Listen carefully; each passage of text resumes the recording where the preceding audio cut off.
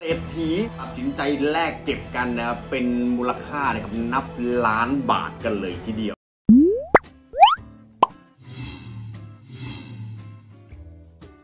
คลิปวิดีโอนี้นะครับจะเป็นนะเรื่องราวที่กำลังเป็นประเด็นอยู่ในขณะนี้นะฮะนั่นคือเกี่ยวกับเรื่องของนะฮะแบงค์20พลาสติกนั่นเองครับสำหรับแบงค์20พลาสติกนะฮะตอนนี้นะครับเชื่อว่าหลายคนคงอาจจะได้สัมผัสไปแล้วนะครับเนื่องจากว่า นะปัจจุบันทางธนาคารแห่งประเทศไทยเนี่ยนะเขามีโครงการนะครับที่นะจะยกเลิกแบงค์20 แบบกระดาษนะครับด้วยเหตุผลที่ว่าแบงค์20 แบบกระดาษนั้นนะครับเป็นที่สะสมเชื้อโรคนะเพราะว่านี่ยใช้ไปนานๆโอ้โหมันเก่าแล้วก็รู้สึกว่านะขาดยุ่ยแล้วก็ไม่สามารถนำกลับไปเข้านะทำลาย นะเพื่อที่สร้างแบงค์ใหม่ออกมานะคุณนึกออกไหมว่าแบงค์20เนี่ยนะแบงค์กระดาษเนี่ยนะครับนะเขากล่าวว่าอายุการใช้งานแค่ไม่กี่ปีแค่นั้น แต่ปรากฏว่าแบงค์ยี่สิบพออออกไปใช้แล้ว จะไม่ค่อยมีใครเอากลับเข้าไปฝากธนาคาร เพื่อที่จะเอาแบงค์ไปทำลาย แล้วก็จากนั้นก็เอาแบบใหม่ออกมานะครับนะทำให้นะครับเป็นที่สะสมเชื้อโรคแหละก็เลยมีนโยบายว่าจะทำแบงค์ 20 ที่เป็นพลาสติกโพลิเมอร์ออกมา และแบงค์ 20 พลาสติกโพลิเมอร์รุ่นนี้นะเป็นรุ่นแรกเลยนะฮะ ก่อนหน้านั้นเรามีแค่แบงค์50นะเราไม่มีแบงค์20นะแบงค์20 รุ่นนี้นะครับจึงเป็นโพลิเมอร์นะเป็นพลาสติกรุ่นแรกที่ทำออกมาครับ และนะครับตอนนี้ก็คือเป็นที่ฮือฮานะครับอยู่ตรงที่ว่า ตอนนี้นะครับมีนักสะสมนะครับหลายท่านนะนำเงินล้านนะเอาเงินล้านเลยนะไปแลกออกมา นะเอาเงินล้านไปแลกไปแลกออกมาเก็บไว้เป็นปึกปึกปึกปึกโดยเฉพาะนะครับนะที่เขาจะแลกกันนั่นคือนะครับ หมวดศูนย์กอไก่ครับ หมวดแรก เพราะอะไรนะเพราะที่ผ่านมานะครับนะในนะในประวัติศาสตร์นะการสะสมธนบัตรที่ผ่านมาเนี่ยนะครับ แบงค์ที่เป็นหมวดแรกมักจะได้รับความนิยมนะครับรุ่นแรกหมวดแรกมักจะได้ความนิยม นักสะสมเลยตัดสินใจว่านะฮะช่วงที่ธนาคารมีการประกาศออกมาใช้นั้นก็เลยเอานะเงินเนี่ยนะในธนาคารเนี่ยขอแลกแบงค์ยี่สิบนะบางคนก็คือต้องมีการแจ้งล่วงหน้า ขอแบงค์ยี่สิบเพื่อตัวเองจะได้หมวดแรกออกมานะครับ คุณรู้ไหมว่าแบงค์ยี่สิบเนี่ยแลกเข้าหน้าแบงค์อยู่แล้วใช่ไหม แลกเข้าหน้าแบงค์อยู่แล้วแต่ส่วนใหญ่นะครับนะหลายคนที่ได้มาเนี่ยนะแลกออกมาแล้วเอาไปใช้เอาไปใช้ คนที่เขามีเงินเหลือเพียงพอเนี่ยเขาจะไม่เอานะเงินนะฝากในธนาคาร เพราะว่าอาจจะไม่ได้กำไรเท่าที่ควร ก็เลยแลกเป็นใบ 20 เมื่อแลกเป็นใบ 20 จะใช้ก็ได้ ไม่ใช้ก็ได้ แต่ถ้าผ่านไปหลาย ๆ ปี นะผ่านไปหลายปีเก็บไว้ในตู้เซฟเก็บไว้เป็นปึกๆ ใบหนึ่งมีมูลค่ามากกว่า 20 ครับ เพราะฉะนั้นนะครับการที่นะเศรษฐีเขาเอาเงิน 1 ล้านเนี่ยไปแลกเนี่ยคือเขาไม่เสียอะไรเลยนะไม่เสียอะไรเลยครับ มันเลยเป็นอะไรที่คุ้มค่ามากเหมือนกับเหรียญ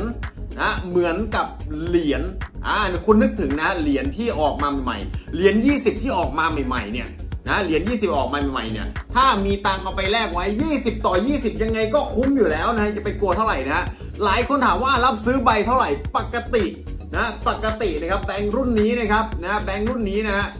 น้อยคนที่จะรับซื้อนะแทบจะไม่รับซื้ออย่างผมก็ยังไม่รับเลย เพราะนะยังไงแบงค์20รุ่นเนี่ยที่กำลังเป็นกระแสอยู่เนี่ยแบงค์20รุ่นนี้ไม่ว่ายังไงนะครับ เดี๋ยวก็มีการทำออกมาใช้เรื่อยๆเรื่อยๆเรื่อยๆคือพูดง่ายๆก็คือได้ใช้กันทุกคนนั่นแหละ นะแล้วเมื่อมีโอกาสเจอกันทุกคนอย่างนี้ ปัจจุบันจะมีราคาได้ไงเนี่ยก็คือถ้านะจะมีราคาได้ก็คืออาจจะต้องมีความแปลกแปลกยังไงนะครับอย่างที่เจอกันอาจจะมีเลขทะลุออกมาบ้าง ซึ่งราคาก็คงยังไม่แรงอย่างที่คิดหรอกก็จะเป็นการเห่อกันช่วงแรก จากประสบการณ์นะหลังจากนั้นนะครับเห่อไปสักพักหนึ่งก็คงไม่เห่ออะไรหรอกนะแต่นะหมวดศูนย์กอมีนักสะสมไล่เก็บไว้ และถ้าเป็นไปได้นะหมวดที่เป็นหมวด S นะนักสะสมเขาก็แลกเก็บไว้ คือนึกออกไหมว่าเขาเนี่ยนะไปแลกที่ธนาคารเผื่อฟุกว่านะฉันเนี่ยจะได้หมวดศูนย์กหรือไม่ก็ได้หมวด S ออกมาเพราะอะไรเพราะอนาคตเนี่ยก็จะมีราคาสูงขึ้นสำหรับใครที่มีแบงค์พลาสติก ผมมองว่าคุณอาจจะต้องเก็บไว้ก่อนนะ อาจจะนะไม่สามารถทำเงินได้แต่ที่แน่คุณรักษาสภาพไว้ให้ดีๆ ถ้าคุณคิดว่าอนาคตจะมีราคารักษาสภาพไว้ให้ดีๆ แต่ถ้าคุณคิดว่า อนาคตไม่มีราคาเลยคุณก็เอาไปใช้ได้เลยตามปกติครับ ร้านประหนันก็ยังไม่ได้รับซื้อไม่รับซื้ออะไรนะครับ แต่นะครับนะตอนนี้นะนักสะสมนะครับอย่างรุ่นพี่นักสะสมคนที่เขามีตังค์เนี่ยเขาก็ไปแลกไว้เป็นล้านเลยนะล้านคุณนึกถึง เวลาคุณแลกมาเป็นลูกอะลูกหนึ่งประมาณ 1,000 ใบใช่ไหมใช้เงินประมาณ 20,000นะสิบลูก นะสิบลูกก็ใช้เงินประมาณ2องแสนประมาณจะเก็บไว้ในตู้เซฟเก็บไว้ 50 ลูกไม่ไม่ไม่เสียหายอะไรอยู่แล้วครับ ยังไงก็คุ้มอยู่แล้วนะมันไม่เสียหายอยู่แล้ว 20 ต่อ 20อะถึงเวลาต้องการใช้เงินก็เอาไปใช้ หรือใช้ไม่หมดกลายเป็นอะไรรู้ไหมกลายเป็นของสะสมหายากขึ้นมา เออนะเกิดเกิดหลังจากนี้ล่ะ เกิดหลังจากนี้ประมาณสักประมาณ 1 ปี 2-3 ปีให้หลังจากนี้นะมีคนต้องการใบ 20 เก็บใบ 20 แบบนี้กันขึ้นมา มันก็จะกลายเป็นของหายากนะจะกลายเป็นของหายากขึ้นมาโดยเฉพาะหมวดนะศูนย์กอและหมวด S นี่คือตามประสบการณ์เลยนะหมวดศูนย์กอและหมวด S ส่วนใครที่มีรุ่นที่เป็นกระดาษนะใครที่มีรุ่นที่เป็นกระดาษนะบอกไว้เลยว่าถ้ารักษาสภาพดีๆ สภาพไม่ผ่านการใช้นะ กลายเป็นว่ารุ่นกระดาษตอนนี้เป็นของหายาก รุ่นกระดาษตอนนี้กลายเป็นของหายากนะ แต่ต้องอยู่ในสภาพที่ดีใครที่เคยแลกมาคราวก่อนเนี่ยนะคุณแลกมาเมื่อนะปี 2 ปีที่แล้วจะเอาไว้ทำนะผ้าป่าจะทำกระถินทำอะไรก็ตามเนี่ย คุณแลกเก็บไว้ในตู้เซฟคุณเชื่อไหมแบงก์กระดาษจะกลายเป็นของมีราคาไปแล้วครับ เพราะนะจะถูกทำลายและยกเลิกนะการผลิตทั้งหมดอยู่แล้ว เห็นไหมฮะ นี่คือนะเรื่องราวของแบงค์20ที่หลายคนถามเข้ามานะบางทีนะคุณอาจจะไปดูข้อมูลนะมาจากหลายที่นะแต่ผมบอกว่าคุณต้องดูรายละเอียดนะเกี่ยวกับนะเรื่องของนะแบงค์แบงค์นั้นด้วยนะครับ ของมีค่าในบ้านท่านมาเปลี่ยนเป็นเงินสด